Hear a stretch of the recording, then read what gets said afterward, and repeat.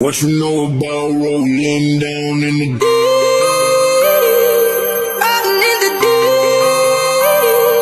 Down in the deep.